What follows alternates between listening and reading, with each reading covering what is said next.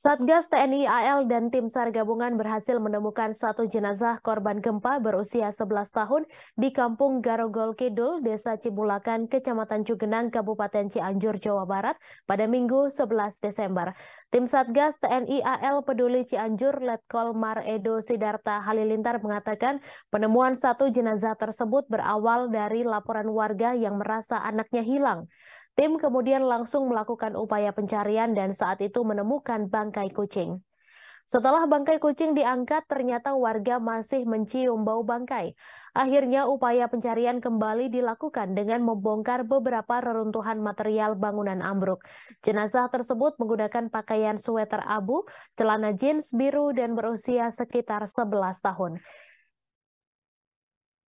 Ia mengatakan berdasarkan keterangan sejumlah masyarakat setempat bahwa ciri-ciri tersebut sesuai dengan laporan dari seorang warga yang merasa kehilangan anggota keluarganya, sehingga dapat disimpulkan bahwa jenazah tersebut merupakan warga yang berasal dari Kampung Ranca Picung, Desa Cibulakan, Kecamatan Cugenang yang hilang pasca gempa pada Senin 21 November lalu.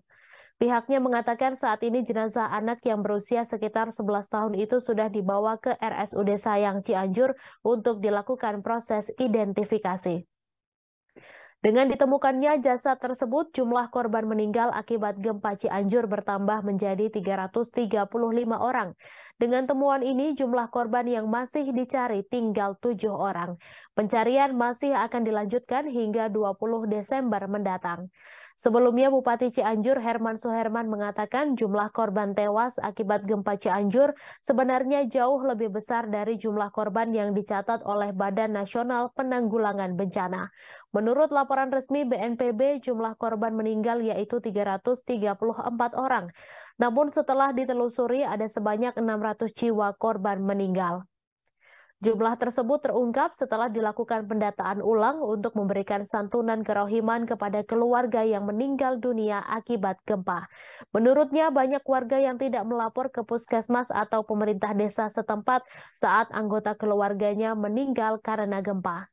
Gempa magnitudo 5,6 pada November lalu membuat lebih dari 58 ribu rumah dan 398 bangunan sekolah di 16 kecamatan di Cianjur rusak. Gempa membuat 108.080 warga mengungsi, sebagian masih terpaksa bertahan di tenda-tenda hingga kemarin.